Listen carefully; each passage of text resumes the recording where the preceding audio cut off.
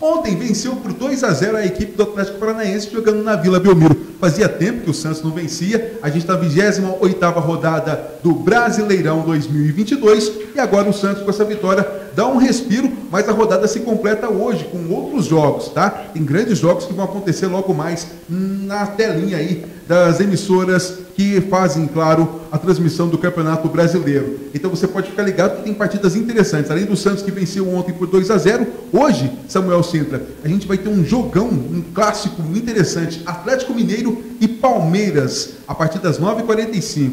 O Bragantino vai enfrentar o Internacional e o Corinthians está jogando e empatando em 1 a 1 com o Atlético Goianiense na Neoquímica Arena neste exato momento, Samuel.